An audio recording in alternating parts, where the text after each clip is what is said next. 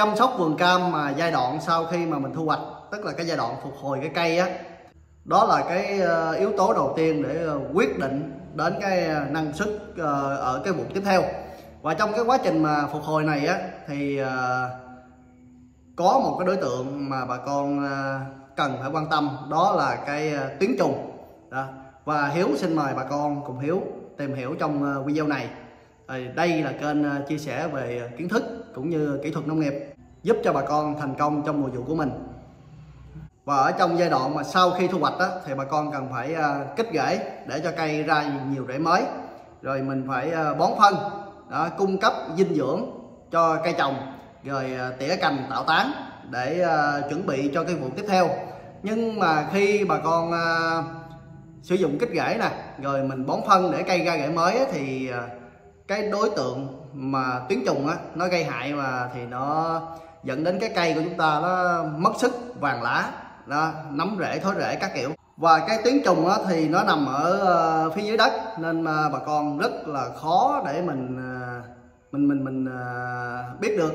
Và khi mà mình thấy cái cây nó suy nó vàng lá không phát triển thì lúc đó bà con moi lên á, mình thấy tuyến trùng á nấm rễ bú rễ á, thì lúc đó đã muộn thành ra để mà quản lý tốt thì bà con cần phải xử lý ngay từ đầu.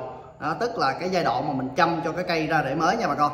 À, giải pháp mà Hiếu đưa ra đó là bà con sử dụng cái sản phẩm là Tạc Vigo à, và Ridomin nha mọi người. Đây Tạc Vigo à, và Ridomin. À.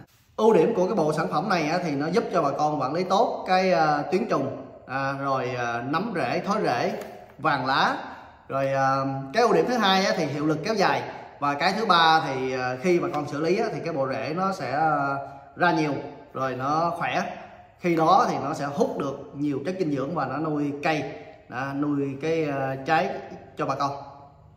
Còn về cái liều lượng sử dụng thì uh, Đạt Vigo thì bà con sử dụng cho Hiếu là một C cho một lít nước tức là cái chai 100 C bà con pha 100 lít nước ha.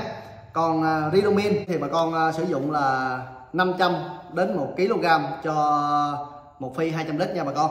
Rồi thì ờ, với mình sau khi mình pha cái hỗn hợp xong á thì ờ, bà con có thể tưới mỗi một gốc như vậy thì ờ, tùy theo cái độ tuổi của cái cây. Thì mình có thể tưới từ 10 lít đến 20 lít nha quý bà con. Mình tưới đều cái tán cây.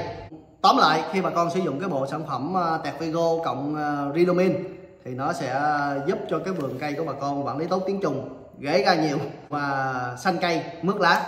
Ha ngừa cái vàng lá rất là tốt. Cảm ơn bà con đã theo dõi video. Nếu bà con cần sản phẩm thì ờ, hãy liên hệ Quỳnh Hiếu.